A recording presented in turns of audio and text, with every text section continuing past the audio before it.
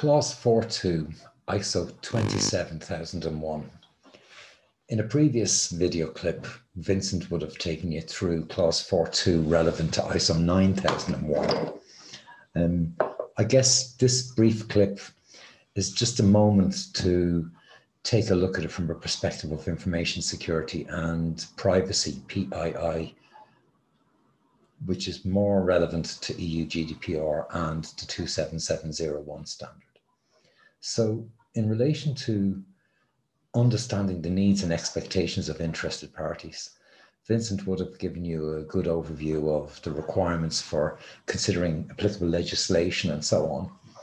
I guess we would always give our customers um, a strong recommendation to consider the relationships with interested parties, such as regulators, but in particular, um, third parties, customers, and suppliers, where they would, on the supply side, maybe you would be asking them to process a lot of data on your behalf, or regardless of the size of the data or the volume of data, uh, maybe some of the data you're transferring to them is sensitive.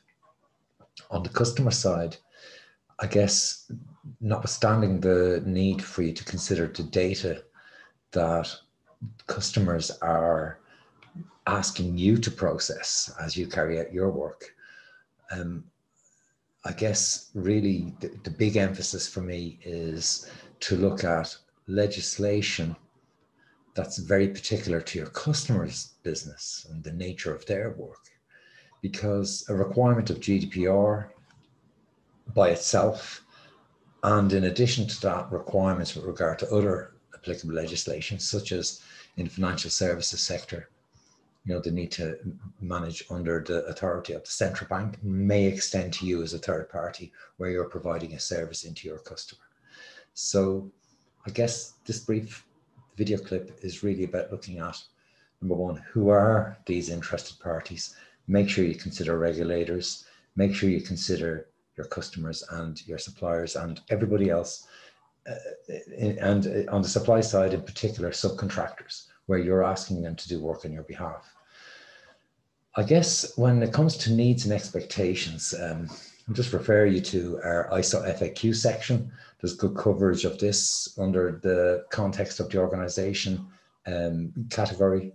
I guess um, what we're looking at here is you know, samples of needs and expectations with regard to these information security applicable interested parties. Um, just looking to my right on the screen on the website, we say requirements can include data protection agreements, non-disclosure agreements, and data protection impact assessments.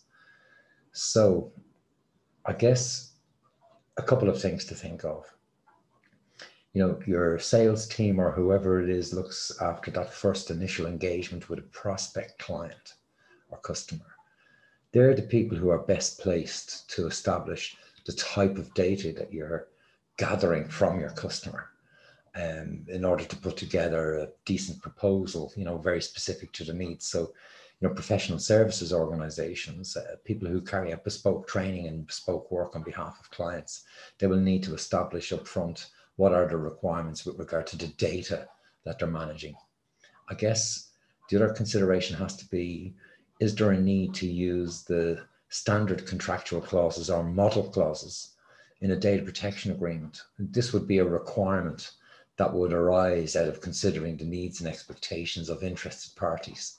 So service level agreements might be one from a, a qualitative or a 9001 perspective. But in relation to GDPR, we have a, an obligation to consider what data are we are we bringing in. Um, we have to categorize the data. We've got to determine all of the requirements with regard to consent, um, where it's going to be stored, and all of that that kind of stuff.